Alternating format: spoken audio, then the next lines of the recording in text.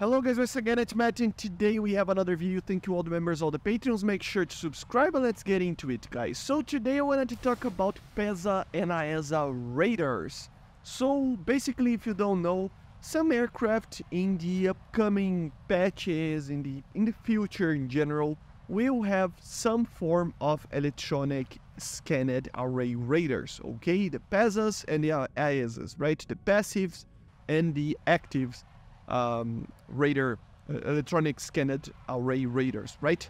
Uh, but, I mean, which of the aircraft that we can receive in the soonish kind of future will have that? And mainly, which of these aircraft can be added? Um, you know, which of these aircraft we can actually expect in a soonish future? Uh, we're going to talk about five, uh, technically five, but it's a little bit more aircraft um, that we might and probably we'll see with this type of technology uh, in the game not that far from now. Okay, so first things first, what is a PESA or AESA radar? So basically, this is what uh, electronic scanned array radar is. So basically, here we have a PESA. Okay, so we have one transmitter, and we have a computer over here, and then we have something called the phase shifter that it's controlled by a computer, okay? And this is emitted by these little uh, things over here.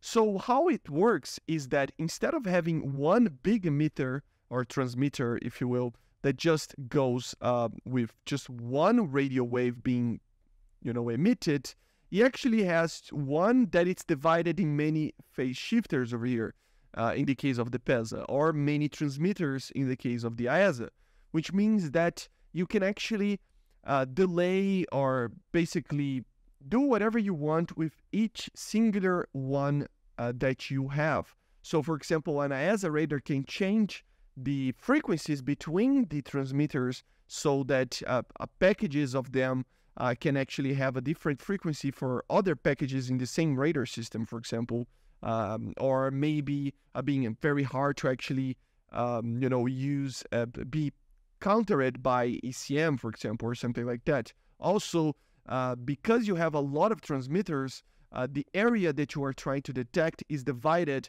by many smaller ones, so they can have an instant or near instant detection of targets. And another good part, and one of the main ones that a lot of these radars use this thing, is to actually basically not be able or not be um, needing to actually uh, tilt the radar to the side or everything or to upwards or downwards for you to actually detect the target. Electronically, they can actually change where the radio, radio waves are going for it. Uh, this works uh, in this example, for example. If you noticed, uh, it has a delay from the shifters over here.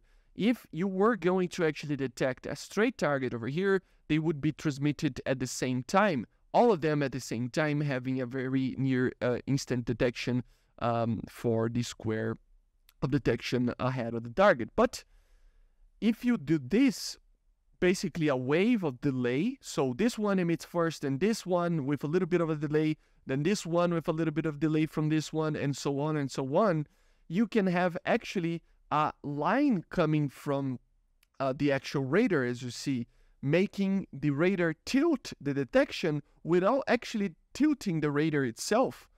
So it's a very interesting concept. It's very complicated to explain, but this is what PESA, AESA are normally, okay? So it's a very, very advanced radar. It's kind of scary to think what these things will do to the game, especially together with Fox 3 missiles, and we are not that far from it. So let's talk about the options that we have in a soonish future. So of course I'm talking about a soonish future because obviously we have many many aircraft that can have these systems in the far future. Many of the um, uh, I mean all the fifth gens have it. Uh, many of the four plus plus generations have it. So uh, there's a lot of very advanced aircraft that we will see. I don't know five years from now that will have these systems obviously, but which of the aircraft that the countries use will receive these first? Or which of the aircraft uh, that have these we will see it first, right, in the game? So here we have four examples, and then a final one that I will talk a little bit about it. Uh, the first one that we're going to talk about is the Mitsubishi F2. I think it's just an evolution of the F-16. It's just an, a very, very, very advanced aircraft, and I think it will be one of the first AESA radars uh, that we see. It doesn't mean that will come in a soonish future, but uh, it will probably be one of the first, if not the first, aircraft with this type of technology. Um, this can come with other uh, aircraft for the Americans to be a counterpart with more modernized F-16s and stuff, but I still think that the F-16, uh, the F-2A, will be one of the first ones to come kind of alone to give a little bit of a light to Japan. Uh, the second one is the Rafale. Obviously, the Rafale since the beginning already had a PESA radar, uh, together with kind of its uh, more stealthy kind of uh, design. It can be a very deadly weapon with its radar. Uh, so a PESA radar would be very effective with the MICAs and all sorts of missiles that it can carry later if they want to add it. Uh, but the MICAs would be the initial ones, right? It would be a very, very, very good aircraft and yeah, one of the best in the in the game for sure. So the Rafale probably will be one of the first as well.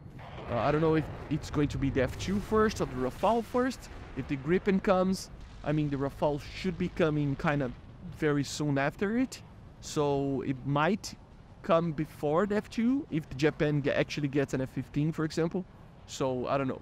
The third one that I really have a, a very honest and strong opinion that we will see soon, you know, in one year, two years max, will be the J-10, man. The Chengdu J-10 is uh, the light fighter of the Chinese Air Force. You know, it is basically the MiG-29 that they have, the F-16, you know, that type of level of uh, doctrine-wise, you know, level of aircraft.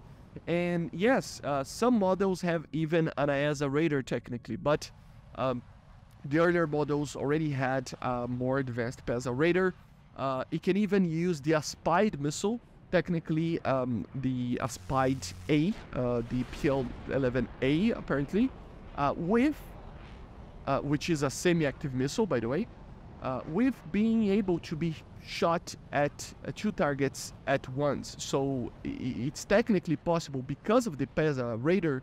Remember, it has many uh, phase shifters there, so we can basically focus half of them in one target and the other half in another target and get basically two hard locks. Uh, technically, you know, I don't know if this is a be like if this is possible with a PESA, uh, unless it's a very very like advanced PESA that I never heard of, about, but probably probably is just you know usable um, in a different way maybe. I don't know exactly how they would do that, but still uh, because it only has one transmitter. So uh, if the computer can actually bypass the transmitter itself, which I think uh, very advanced PESAs do, uh, it would be able uh, fairly easily to actually lock two targets, but hard lock it, not TWS, hard lock it, uh, so they can fire two semi-active missiles at two different targets. And of course, the fourth one, we need to talk about it, even though we don't have a line of interceptors in the Soviet Union, the MiG-31, it was the first PESA aircraft, the first electronic scanned array radar, uh, airborne radar in the world, you know, in the sense of a production aircraft. So yeah, it can also do the same type of line of thinking that the J-10 can. So technically can uh, lock four targets at once and fire four R-33 semi-active missiles uh, at once in four different targets. So we can use uh, a TWS, but it's more it's it's like a TWS, but instead of just a soft lock, you are actually hard locking uh, four targets at once, and you shoot at four targets um, uh, with four missiles uh, that are semi-active. So it would be very very interesting. These are the four aircraft that I think we should expect to be the first four that get this type of technology. But then we have kind of the fifth on the list here. Uh, these aircraft can be added, but I don't think they will be added right now. I think they are kind of far from now, but we can see it. Um, don't get me wrong. Uh, it's not like the Americans and the Russians, they don't have other aircraft with these systems, but the thing is that I think we are kind of far away from it. So I decided to add it uh, later in the list. So some of them include the Su-27M, for example, which was the first like production aircraft that it wasn't uh, an interceptor like the Mi-31 from the Russians that actually got a PESA radar. Uh, of course, later with the MiG-35s, MiG-29Ks, you know, um, all all of them can carry PESAs and even AESAs depending on the customer. Uh, the Su-35, you know, many Su-30s can have that. But all of those aircraft, I think, it's going to take a little bit of time to get to the game. Other versions uh, of F-15s, for example, the F-15C uh, can have an AESA radar. The F-18E can have an AESA radar. Uh, F, F, some versions of the F-16, very late versions, um, you know, uh, modernized versions that were uh, exported, and some of them, I think, uh, even for domestic design, for domestic use, and even some F-15Es, right, the advanced ones. So there is many, many aircraft that will receive these systems. Of course, I'm not even mentioning fifth, fifth gen, right? Of course, if they ever add an F-22, we will see it as a, right there, the F-35, the Su-57, uh, the J-20, I'm pretty sure he has one as well. So all of these radars and even uh, more advanced aircraft like the uh, latest versions of the Eurofighters that are being deployed right now, I think, have uh, a PESA radar or something like that, or AESA, I have to check. Uh, the latest versions of the Gripens have AESAs as well. So uh, everybody can have an AESA radar, but I think these four, the F2, the Rafale, the J-10, and the MiG-31 are probably going to be the first four. And of course, I have to end the video talking a little bit about a disclaimer. Of course, we technically have an aircraft that has this type of technology in some form, okay? So technically, the Yak-41 has the Zhuk radar, and initially the Zhuk radar that was used in the MiG-29M and initial K as well, um, and in some Sukhois, I'm pretty sure, but I don't know how many were produced later. They do have a vertical electronic scan, uh, scan basically which means that they don't have to tilt the proper antenna and they use uh, this type of system to actually be able to look upwards and downwards. Uh, it doesn't like introduce pr the proper, you know, uh, good parts about a PESA electronic scanned radars, but it does help with weight and just uh, being a smaller radar that doesn't have to actually tilt uh, itself to actually be able to detect targets above and below it. So technically we do have our first electronic scanned radar, but it's not really a PESA or AESA. It's just a, a semi-PESA, if you will. It's a radar that has features vertically that remind um, a PESA, but that's pretty much it. And that's the Yak-41. And if added, the radar of the MiG-29M and K, okay? But basically this is it, guys. These are the aircraft that I think we will see these radars. Be aware of these. If this is added, instant detection, you know, tilting the radar very quickly to a. I mean, they're lighter because of that as well. And of course, uh, being able to be uh, way better against ECM, against ground clutter, against everything. Um, it can be a very good air-to-ground radar as well. So the the advantages of using electronic scanned radars are way too good to not have in the game in the future. And it's kind of confirmed that we will probably see it. It's just a matter of time. Uh, but yeah, guys, anyway, I hope you enjoyed. Make sure to subscribe and let me know in the comments if you are scared of the PESAs and AESAs of the world. Okay? See you guys. Bye. Subscribe.